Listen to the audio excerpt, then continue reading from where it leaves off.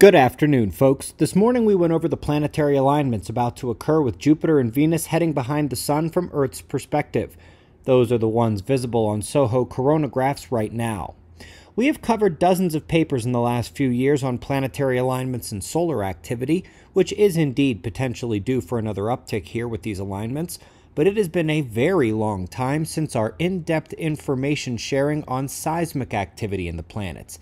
It's kind of a weird one, because it seems that the entire solar system gets activated during these alignments due to resonance and electric field coupling, even when the Earth is not involved.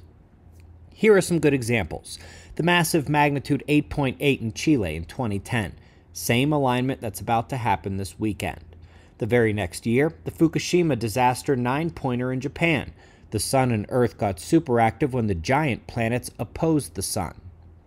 Looking back in time, triple lineup of planets on the day of the 9.2 in Alaska in 1964, the 2004 Christmas tsunami in Sumatra, Sun and Earth both activated during that alignment, had another one in 1952 for the Great Kamchatka quake. There were two sets of alignments during the largest quake on record in India, including that Venus Mars Mercury inclusion. Another one for the 2012 shake in the Indian Ocean, and by the way, that was six of the largest eight earthquakes ever recorded, seven of the largest ten.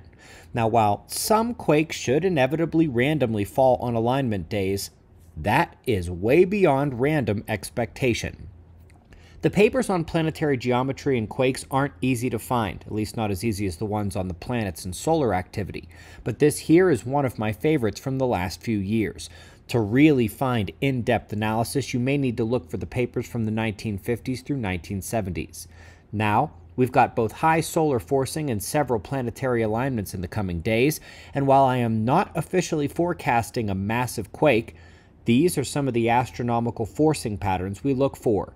Just a little FYI and something you can investigate further or watch for or check when big quakes happen.